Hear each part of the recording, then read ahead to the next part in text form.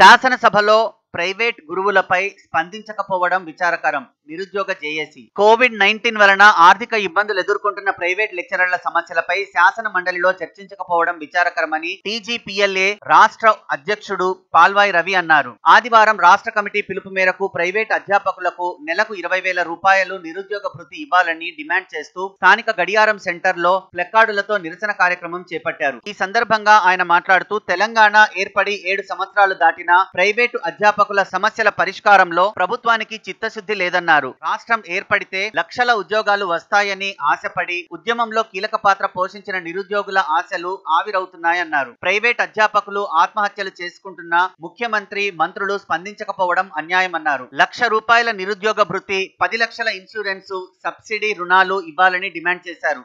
ఈరోజు Telangana private lecture association Telangana private teacher నిరుద్యోగ JAC SC ST విద్యార్థి సంఘం ఆధ్వర్యంలో రాష్ట్ర కమిటీ పిలుపు మేరకు అన్ని జిల్లాల తెలంగాణ రాష్ట్రంలో మన క్లాక్ టవర్ సెంటర్ అమరవీరుల స్థూపం వద్ద నిరసన కార్యక్రమం ఏర్పాటు చేయడం జరిగింది.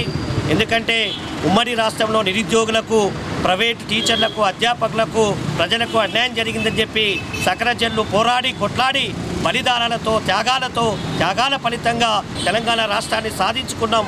ఆ సాధించిన దిశగా ఏడు సంవత్సరాలు పూర్తయింది. మరి ఏడు సంవత్సరాలు పూర్తయినప్పటికీ కూడా మరి ఎవరి జీవితంలో వెనుకొచ్చింది? ఎవరి జీవితంలో ఒక మంచి అవకాశాలు వచ్చినో మనం ఆలోచించాలి. మేము రాష్ట్రంలో ప్రైవేట్ అధ్యాపకులు టీచర్లు నిరుద్యోగులు ఓట్లేస్తేనే ప్రజాపతిని గెలుపొందిర్రు.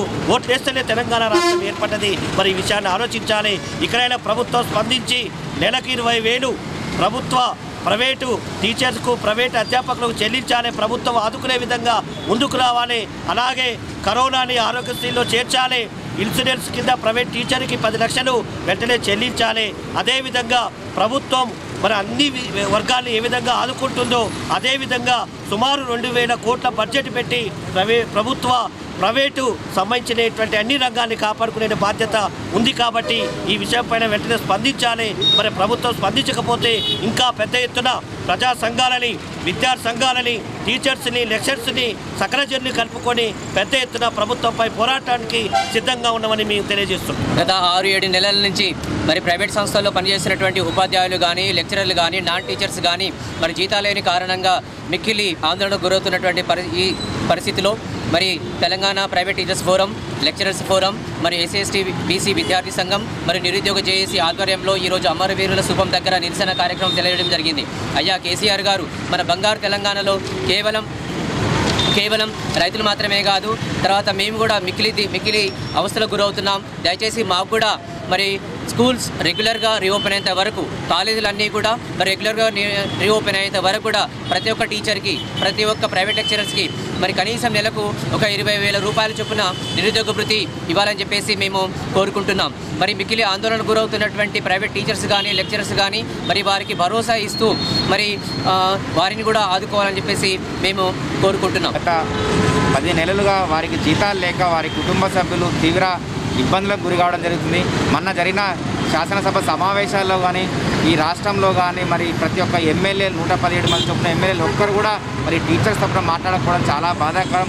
మరి ఎనిమిది నెలలుగా వాళ్ళ జీతాలు బాగాలేక ఒక టీచర్కి కనీసం వాళ్ళ కుటుంబంలో ఐదుగురు మెంబర్లు ఉంటే మరి రాష్ట్ర వ్యాప్తంగా వీరు వీరే ఒక డెబ్బై ఎనభై లక్షల మరి ప్రజలు వీరు ఓట్లు కాదా? ఈ ప్రభుత్వానికి ఓట్లు వేయలేదా?